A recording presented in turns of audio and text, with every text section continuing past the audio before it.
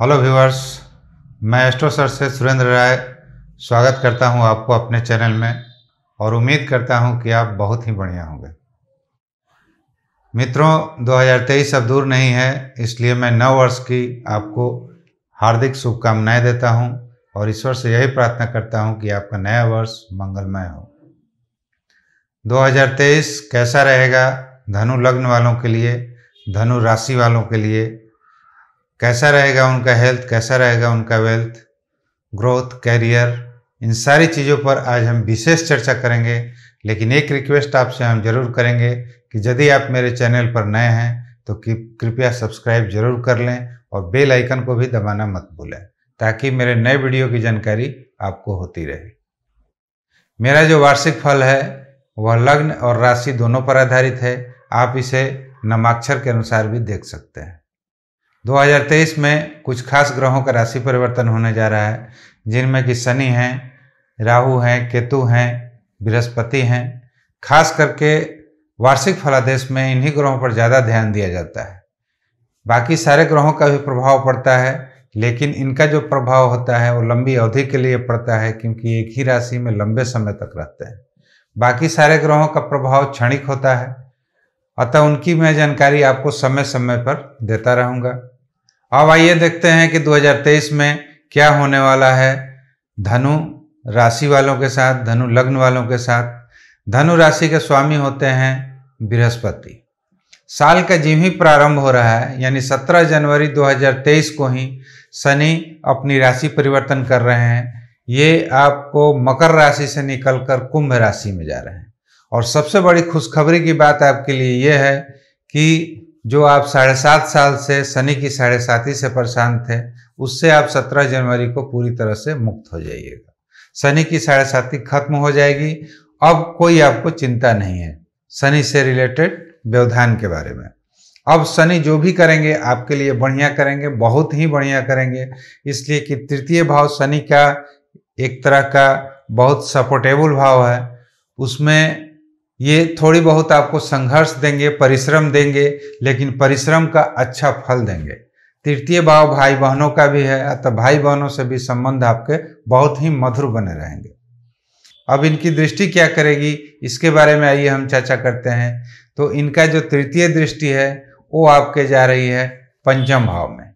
पंचम भाव में, हालाँकि पहले से राहु बैठे हुए हैं, और वहाँ पर ये मेष राशि है और मेष राशि शनि के लिए नीच के हो जाते हैं। अतः पंचम भाव से बहुत अच्छा रिज़ल्ट उम्मीद करने की आशा मत कीजिएगा।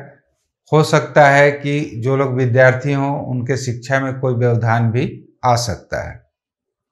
बाकी पुत्र संतान के तरफ़ से थोड़ा सा आपको चिंता बनाए रखेंगे ये शनि।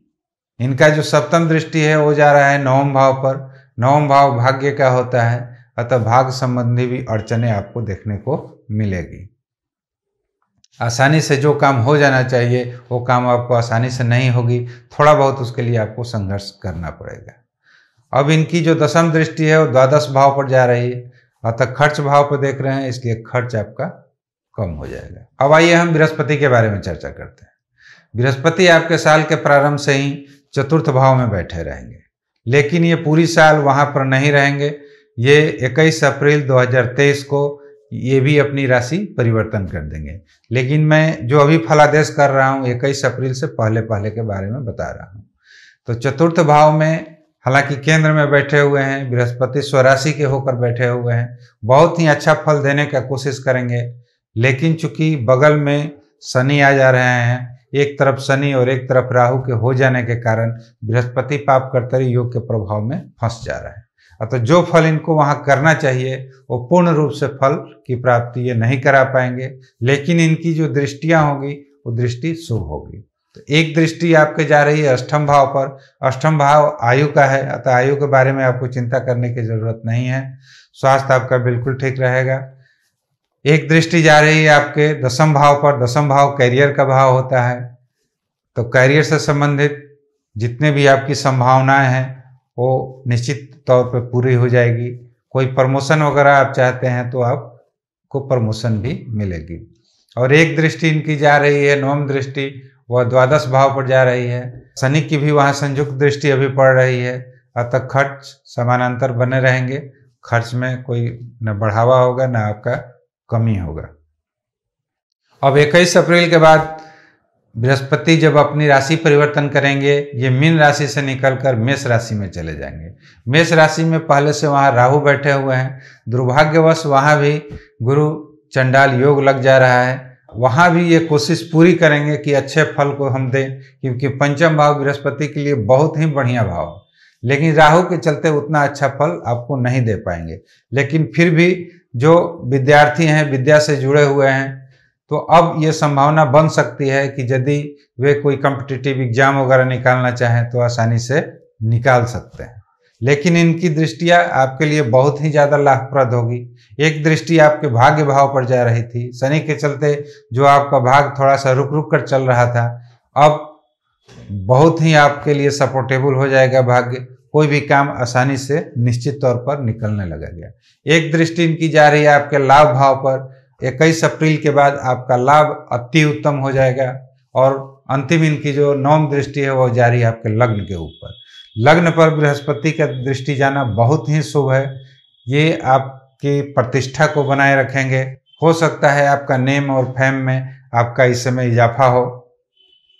30 अक्टूबर को जब राहु राशि परिवर्तन करेंगे, ये मेष से निकलकर जब मीन में जाएँगे उस समय सबसे घट, बड़ी घटना ये होगी कि आपका जो पाप करते रही, योग चतुर्थ भाव पे लग रहा था, वह खत्म हो जाएगा।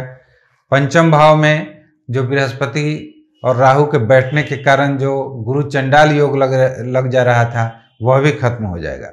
अब बृहस्पति पूरी फोर्स में आ जाएँगे, पूरी ताकत में आ जाएँगे, अतः बृहस्पति का पंचम भाव में बैठना पूरे साल के लिए आपको बहुत बढ़िया हो जाएगा। ये आपके भाग्य को भी प्रबल करेंगे, आपके पर्सनालिटी को भी प्रबल करेंगे और आपका जो पंचम भाव है, विद्या का है, पुत्र का है, संतान का है, इन सबों में काफ़ी आपको इजाफा देखने को मिलेगा और सारी मनोकामनाएँ साल के अंत होते होते तक आपकी पूरी होने की पूरी संभावना है। तो मित्रों, ये रहा 2023 का एक संक्षिप्त विवरण। यदि आप विस्तृत जानकारी चाहते हैं तो आप कंसल्ट करके मेरे व्हाट्सएप नंबर पर व्हाट्सएप करके आप विशेष जानकारी ले सकते हैं। आज के लिए इतना ही। यदि मेरा कंटेंट अच्छा लगे वीडियो अच्छा लगे तो कृपया लाइक शेयर और सब्सक्राइब करना ना भूलें।